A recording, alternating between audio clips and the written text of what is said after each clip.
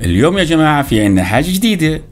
اليوم بدنا نطبق حاجة جديدة وهو عبارة أو وهي عبارة عن ال widgets الجديد. طبعا شاومي اللي أرسلت لنا إياه بشكل رسمي بنقدر نحطه على واجهة 13 و12 ونص وواجهة 14 شايفين الأشكال هذه كلها؟ ال widgets الجديد هذا بقدر أحطه على موبايلاتنا الآن الآن الآن وليس غدا. هيا بنا ال like لحبيبنا إيهاب الصرفندي وخلينا نروح نشوف التفاصيل يا حبيبي القلب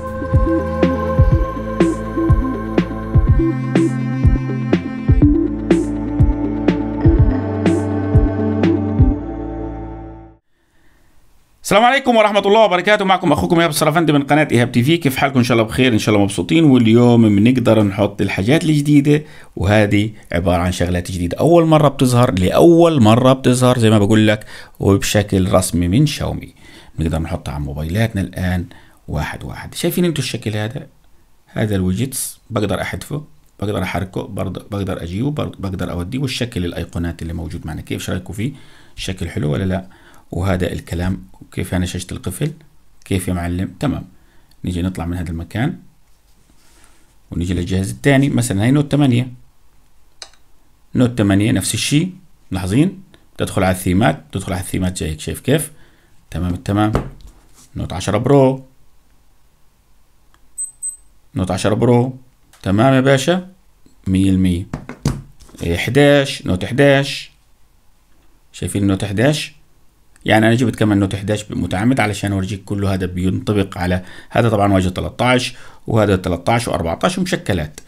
الآن في عندنا أول حاجة نمسك هذا الجهاز عشان في هنا شغلة لازم إحنا نعملها.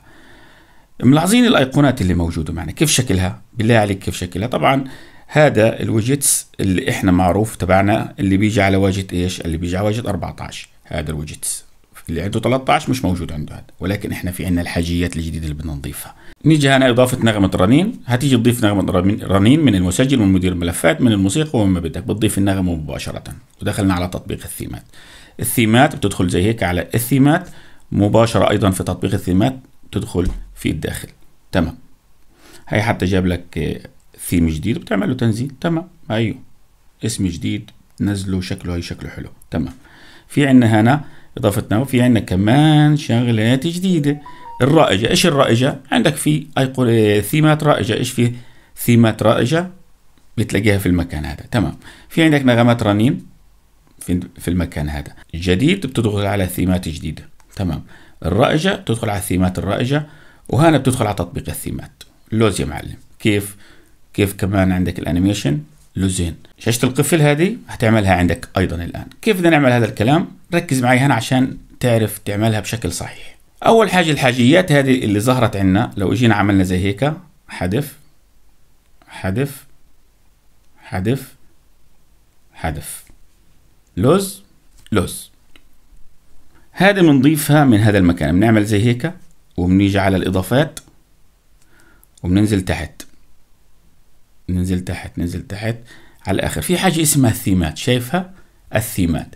هذه الثيمات اللي موجوده معنا الجديده مثلا بدي أضيف هذه بتعمل زي هيك إذا في منطقة فاضية بقول لك لا توجد مساحة بتمسكها زي هيك وبتحطها في المكان هذا مثلا. نيجي للي بعدها ننزل تحت نيجي للي بعدها تمام تم إضافتها. نيجي للي بعدها هاي تمام تم إضافتها. خلينا نحركها هذه هيك ونجيب هذه هيك. تمام. نيجي نعمل تاني ننزل على اللي بعدها خلينا نحطهم كلهم. تمام. في كمان هاي واحد اثنين ثلاثة أربعة. في عندنا كمان هم كم واحد؟ خمسة ولا ست واحد اثنين ثلاثة أربعة. وهي خمسة. هاي طبعا مش وسع بنعملها ونحطها هنا. صارت موجودة هنا ممكن نحطها في مكان تاني. هي أنا حطيتها هنا أصلا. بتقدر تحطها أكتر من واحد. يعني مش لازم الآن. هوب هوب. ضغطة طويلة هوب. بليصة راحت. تمام.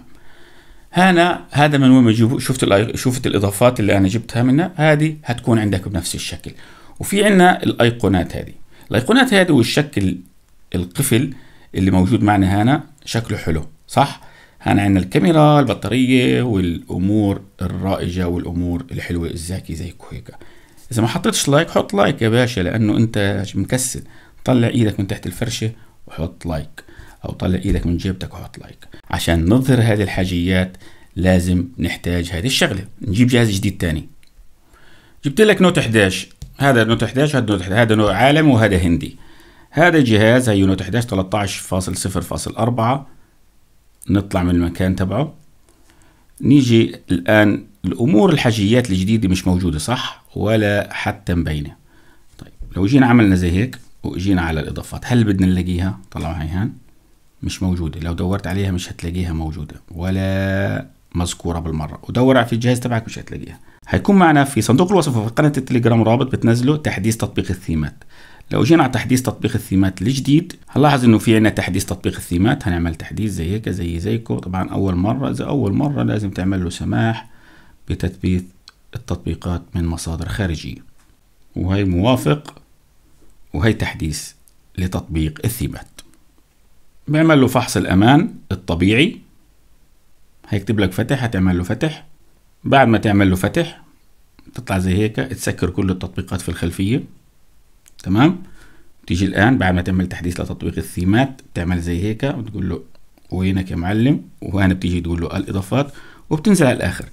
أوبا هتلاقي الحاجيات ظهرت معك في هنا شغلة بدي أنبه لها في عنا بعض الأجهزة آه، أنا شفت أجهزة POCO ما ظهرت فيها.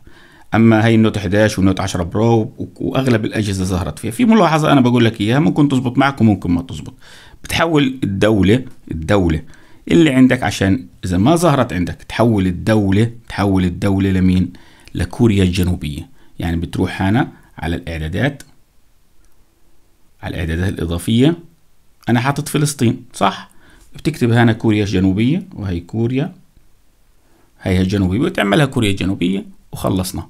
ممكن تزبط وممكن هوا ما تزبط. بس لكن أغلب الأجهزة هي زبطت معي. أجهزة البوكو ممكن هوا تعمل معها الكلام هذا نيجي الآن بعد ما هي جينا على الإضافات وهي عندنا مثلا نغمات الرنين ويجي على الإضافات الثاني نختار الثانية ونيجي نعمل هيك ونشيل هذا من هذا المكان ونحط بدالها الجديدة الحاجة الكويسة وهي كمان حاجة.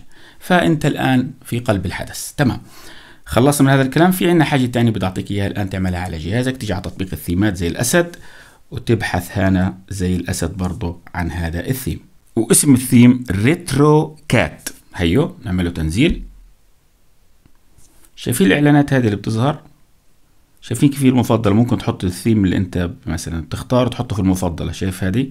هنا مثلا المفضلة. أيوه.